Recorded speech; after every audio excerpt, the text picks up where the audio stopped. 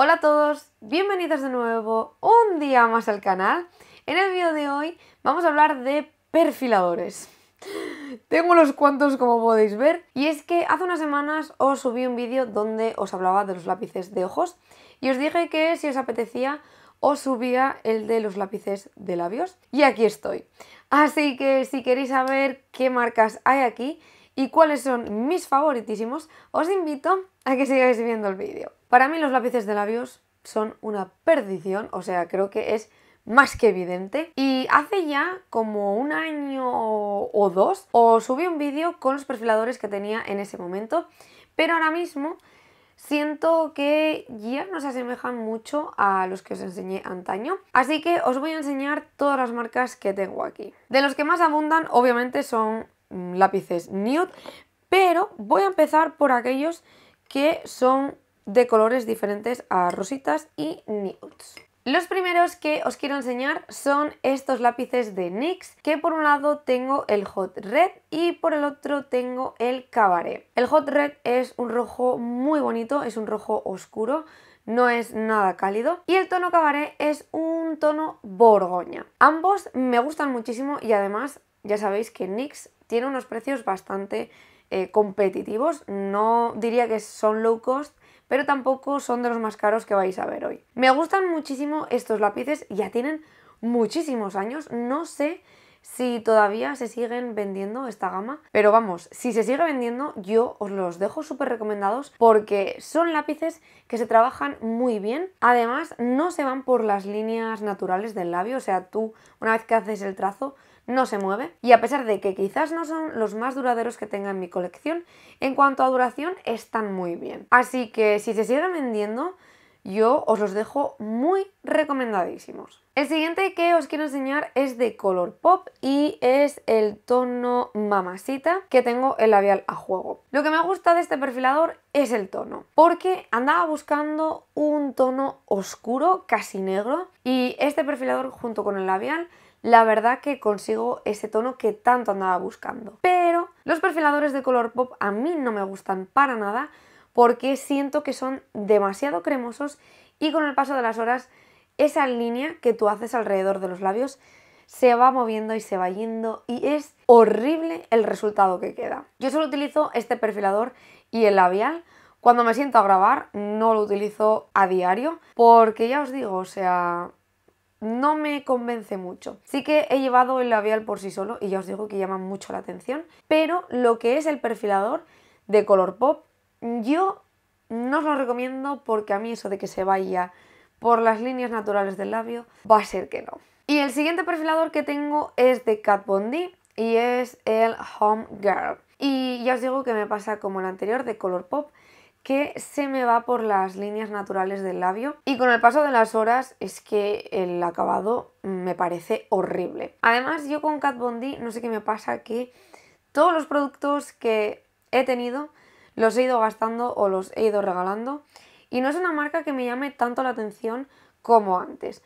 Pero vamos, que lo que es el perfilador en sí yo tampoco os lo recomiendo porque eso de que se mueva por todos los sitios pasadas unas cuantas horas es un acabado que es realmente horrible. Vamos a pasar directamente a los perfiladores en tonos nude rosados, que son de los que más tengo. Y voy a empezar con este de Laura Mercier. El tono es el Naked y es un tono muy peculiar porque es prácticamente un tono color carne. Yo me lo compré para utilizarlo con el Angel Alessandra de Charlotte Tilbury. Y a ver, no me disgusta el resultado, pero siento que es demasiado color carne. Eso sí, la fórmula del perfilador me gusta mucho. Es en formato lápiz y a pesar de que parece que es demasiado seco, tú una vez que lo empiezas a trabajar en el labio, pues es una fórmula que no es de las más cremosas, pero pigmenta de vicio. Reseca un pelín el labio si os lo rellenáis, pero vamos, o sea, yo como mm, suelo utilizar con este perfilador el Angel Alessandra, pues al ser un labial que no es 100% mate, pues no siento que me reseque tanto el labio.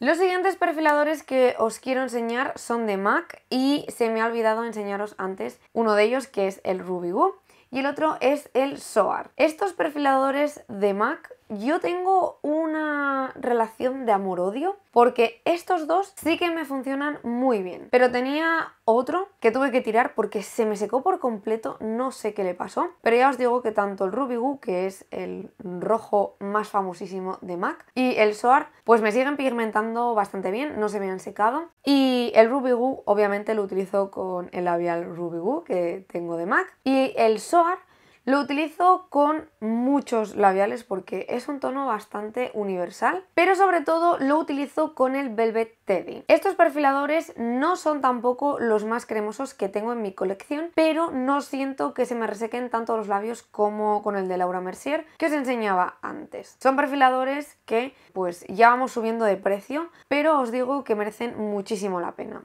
Eso sí, como os toque alguno seco, como me tocó a mí con el Dervish, que es que no me acordaba del tono y me ha venido ahora, pues es como mm, un poco lotería. Pero vamos, tanto Soar como Ruby Woo os los dejo muy recomendados. Otro perfilador que os quiero enseñar es este de Bite Beauty y el tono es el 004. Este me lo compré en Sephora Estados Unidos, eh, tenía una rebajaza impresionante, me confundí en el tono porque el 004 es un tono rosa chicle y ya sabéis que yo estos tonos a mí no me convencen.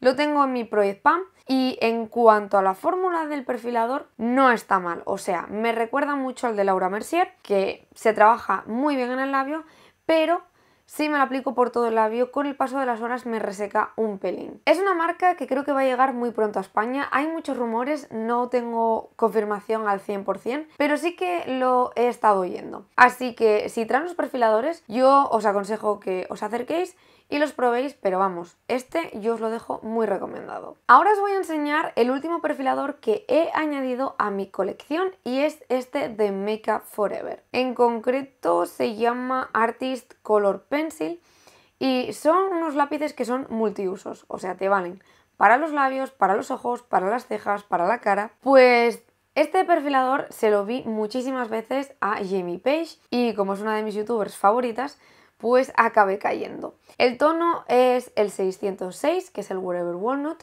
y este lápiz es súper cómodo. O sea, puede parecer que es muy seco, pero no es así. A mí me gusta utilizarlo por todo el labio y luego me aplico un gloss y a veces también lo he llevado solo y me encanta, o sea, es súper cómodo de llevar y además es que no se va por las líneas naturales del labio, así que si queréis un lápiz de larga duración, este os lo dejo muy recomendado.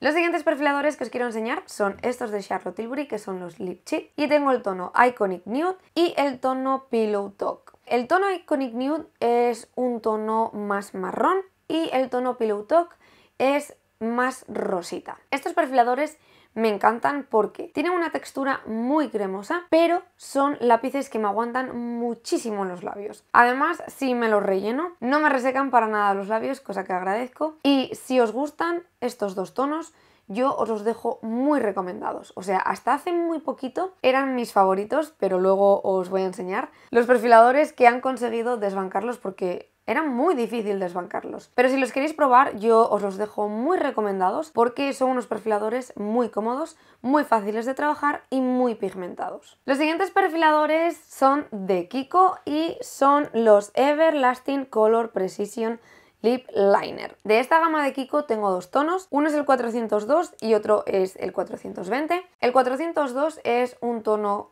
piel y el 420 es un nude precioso que es el que hoy llevo en los labios con el gloss de Fenty Beauty. Creo que los perfiladores más conocidos de Kiko son los Creamy Color, es más, yo tenía cuatro de ellos y los regalé. Porque Descubrí estos gracias a Lana Davidson, que vino de vacaciones el año pasado a España, se los compró y habló maravillas de ellos. Yo no me había percatado de ellos cuando iba a Kiko, porque todo el mundo hablaba de los Creamy Color, pero a mí los Creamy Color no sé si eran por los tonos, que yo no encontraba mi nude perfecto y que además sentía que no eran tan duraderos. Pues bien, esta gama de Kiko, si queréis unos perfiladores de altísima duración. Os los dejo súper recomendadísimos porque duran muchísimo más que los Creamy Color. Eso sí, son un euro más caros, pero desde mi punto de vista creo que merecen muchísimo la pena. Y he dejado para el final mis favoritísimos que son estos de Pat McGrath. Se llaman Permagel Ultra Lip Pencil. Y obviamente pues se ve a leguas que son mis favoritísimos porque tengo cuatro tonos. ¿Qué tienen estos perfiladores que no tengan el resto? Pues para mí son los perfiladores más duraderos que tengo en mi colección. O sea, tú te aplicas este perfilador y yo te recomiendo que no solo te perfiles los labios, sino que además te los rellenes. Porque esto no se mueve a no ser que apliques un producto de base aceitosa y des fuerte. Si te los perfilas solo con estos perfiladores, con el paso de las horas es que se te va a ver el perfilado y el labial, pues se te habrá ido por completo y ese resultado a mí por lo menos no me gusta para nada. De los cuatro tonos que tengo de la marca, el primero es Dan and Dan. Es un nude que tiene pequeños destellos, no es 100% mate. Luego el siguiente que tengo se llama Buff, que es un tono coral el siguiente tono es Contour y es un tono nude cálido, mientras que Supernatural es un tono marrón un poco más oscuro que el anterior. Estos perfiladores son muy cremosos y puedes llegar a pensar que con esa cremosidad no pueden tener una altísima duración y ya os digo que, vamos, es una pasada. Uno, la duración la pigmentación y lo bien que se trabajan. Eso sí, tienen un precio bastante elevado, son los más caros que tengo en mi colección, pero si estáis buscando perfiladores con una larga duración que sean también resistentes al agua, os los dejo súper recomendadísimos. Al igual que hice con los lápices de ojos, os voy a enseñar mi top 3 que obviamente en el puesto número 1 están los perfiladores de Padmagrad. Luego estarían los de Kiko, porque me encantan, o sea, relación calidad-precio es inmejorable. Y por último estarían los Lip Cheat de Charlotte Tilbury. Los demás son buenísimas marcas, o sea, los que me gustan, mm, vamos, es que os los dejo muy recomendados, pero si me tuviese que quedar con tres marcas solo, serían con estas. Pues hasta aquí el vídeo de hoy, espero que os haya gustado y que sobre todo os pueda servir de ayuda. Si habéis probado alguno de estos perfiladores, me encantaría que me dejaseis en los comentarios vuestras opiniones. Muchísimas gracias a todos por ver el vídeo y nos vemos en el siguiente. ¡Chao!